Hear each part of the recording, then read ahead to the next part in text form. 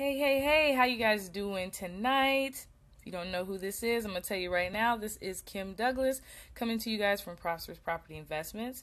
Just checking in with you guys, seeing how you're doing tonight. Wanted to share a couple prosperity points, just little tips, help you out in life, help you out in business. And hey, Angela, thanks for jumping in. Help you out in your life, help you out in your liz- your business a little bit. And yeah, so today we are going to talk about the four habits that you gotta have to be successful in life. So this translates into anything that you're working on, anything. Hey, Sean, thanks for popping in. Anything that you're doing. Four habits to be successful. Just want to know how you guys are doing. So as you're coming in, just drop me a line. Let me know how your day has been and Hey Joseph, how you doing? Thanks for checking in. Let me know how your day has been. Let me know how things are going for you today, and then we will get started in about a minute. I'm going to go ahead and share this really quick. And as I'm sharing this really quick, I will tell you a little bit about my day. So what did I do today? Today was just kind of basically a uh, a relaxed day. We did watch the football game. Hmm. Hey, my day has been boss. How has yours been going, ma'am? It's been going pretty good. Pretty laid back. Just pretty laid back, working on a couple things. Spending some time with family, you know. Watching the football game. I didn't watch all of it. I watched the last five minutes of it, which took like 30 minutes. Like, took a long time. I don't know if you guys watched the Cowboys and the Packers game talking about uh, football here. Well, American football. If you're in another country, football for us. but uh, yeah, it was a really, really close game. You know, a lot of people. Yeah. Don't talk about sports. My hurts and feelings. That's okay. But yes, I'm sharing this in a group really quick, and we're going to get started on that topic. The topic is four habits you got to have to be successful in life. You got to have it. You got to have it. You got to have it and give me about 10 more seconds 15 and i'm going to share this really quick and then we will get started. So yep as you're and here oh there we go. Yeah. What's up with that connection week? Who knows but yep, so we shared it in a group and we're going to get this thing started, right? So, four habits. What do you need to know, right? I'm going to give you the goods, okay? So, the first thing, if you're going to be successful at anything in life, is you have to be careful of your circle. Who is in your ear? Who is talking to you? Who is influencing you? Who who is around you? You got to really be careful about the people who you spend your time with. I know you guys have probably heard that um, the most, you know, you are the sum of your five closest friends. So, whoever your five closest friends are, you are the most like them, you know? So, to that, if you're trying to go in a new direction in life, you're going to have to change your circle. It's not going to be something that's easy. It's going to be something that's necessary. I've, but there, oh, there we go. We're back.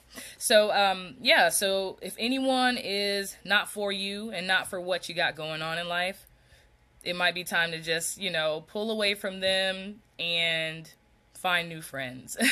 you got to learn how to be influenced by people who have what you want. So find the people who have what you want. Go in meetup groups, um, hang around the most successful people. You know, ask them questions, pick their brain. It keeps trying to cut me out. People don't mind you asking for information. They mind you asking for handouts. So if you go to someone who's successful and you ask for information, well, how do I do this? most times they'll help you. They'll help you. They don't mind sharing what they know. They don't want you to ask them for a hookup, you know? If you ask them for information and you're you're showing that you're willing to put the effort in, they'll give you information, they'll put you on the right track. So put yourself around these people who have what you want, who have what you desire, the lifestyle you desire, the status that you desire in your own business in your own area of expertise. Put your around put yourself around the best. I always say follow the best forget about the rest, you know. Separate yourself from the noise and the nonsense because if you don't, what will naturally happen is I don't know if you've ever heard of the crab mentality. So what happens with the crab mentality is there's all these crabs in the barrel. Uh, one crab will try to get out, and all the other crabs will try to pull it back in. So if that's who you are around, that's what's going to happen to you as you're trying to move forward and do better things. The people who are just not used to going for their goals and moving forward in life, they're going to try to pull you back and hold you back and keep you in the comfort zone, you know, just because that's where they're at. That's where they're stuck at, you know. Don't let them separate yourself. Like I said, follow the best, forget about the rest. Yeah. change your circle, change your circle of influence, right? So, number two, the second thing is going to be the speed of implementation. So, like, how fast are you learning something and then actually doing it, right? So, you got to beat that, you know, paralysis of analysis, you know? So, basically, that means you're just waiting for perfect circumstances in order for you to move forward. I really, really, really had to struggle with this for a long time, you know, just like, okay, um, I'm in the knowledge phase, you know, I'm gaining a lot of knowledge, I'm gaining a lot of wisdom, but that doesn't mean anything if you're not taking action toward what you're supposed to be doing with that knowledge. You know, you got to start moving in the direction of doing. You know, so that's why they say success loves speed. And that's so true. Success, it truly loves speed. You know? So you just got to learn something and then go do it. And this is the point, like, because so many people, and myself included, we're so afraid to make mistakes. But that's the only way that you're going to learn and move forward is by making mistakes and fixing them as you go along. When you learned how to walk, you fell a million times. A million times. Like, did you guys forget this when you were a baby? You fell, you bumped your head, you busted your lip many times. That didn't stop you from wanting to get up and learn how to walk or even learning how to run. But as adults, we kind of have changed our mindset a lot to where we're afraid to make mistakes. We don't want to look bad in front of other people. We don't, we don't want to disappoint ourselves. But you just got to get out of that because the only way to get to the success is you got to go through the failures first. You have to go through the failure to get to the success. You can't avoid the failure to get to the success. He said that, you know, you got, I always say this too uh, progress, not perfection. You got to shoot for progress, not perfection. Because if you're if you're making progress, you're you're making a, you're in the good step. You're going in the right way. You know, it's never ever going to be perfect. That's just an unattainable goal. You know, but it's going to be doable. You know, you just have to keep taking action and learning along the way. Yep. And he said, if you know success, then you will know failure just as well. In this uh, podcast that I was listening to earlier, I'm just like, yeah, that's so true. Like, you cannot get to this success unless you've had many failures. uh, I, I, believe it was yeah Albert Einstein when he was creating the light bulb. They they told him like, well, it took you two thousand tries before you actually created this light bulb. And he said, I just learned two thousand ways that it didn't work. I only had to I only had to learn one way that it actually worked. So there's going to be a lot more failure than success, but the success is going to outweigh the failure. Like when you finally learn how to do it, you can be like, oh my God, I did it. And the failure is really not going to matter at that point. All you're going to be focused on is the success. So focus on the success now when you'll get there, right? the third thing is goal setting. Goal setting, goal setting. I know you've heard this a million times, and there's probably a reason why. There's probably a reason why, because you have to tell yourself where to go. You got to tell yourself what do you want and then they said the first thing, one thing that I picked up from this that was really key, they said set your goal. Okay, we got our goal. Then they said set your first action step. So that's all, like moving toward the goal. So your goal is two part. You're to set your goal and then you say, okay, what's my first action that I'm to do immediately? What can I do within an hour? What can I do after, right after I write this goal down to move forward into that goal? Like I said with the other one, speed of implementation. You kind of got to get it moving, you know? As I said, start out with your 90 day goals. It's a good place to start. You know that you're going to have your short term goals, then you're going to have your long term goals. But start making goals, even if it's a daily goal. I have these tasks that I want to get done for today. Write the goal down and keep those goals until you actually do them. You know, if that's your goal plan for the day and you didn't get all of, like, say you have four things on there and you didn't get all four done, keep doing it until you actually meet that goal. Hey, Christine, thanks for popping in.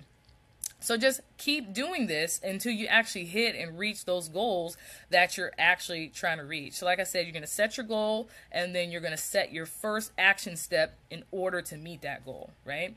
So the fourth habit and this one he said is the most important.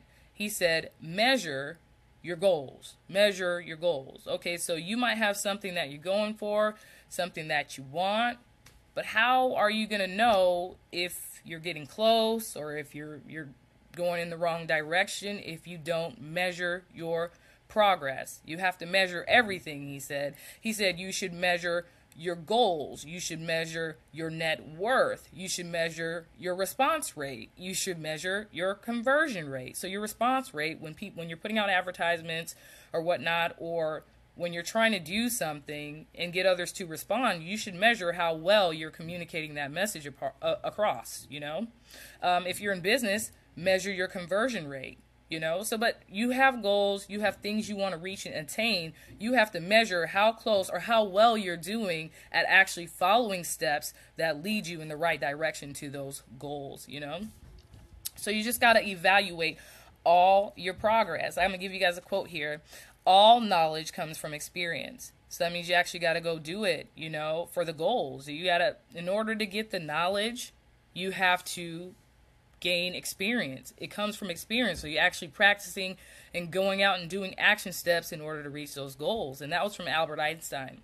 And people say, hey, knowledge is power. Knowledge is power. No, no, no. Knowledge is potential power. You know, knowledge plus action is where the power actually comes in.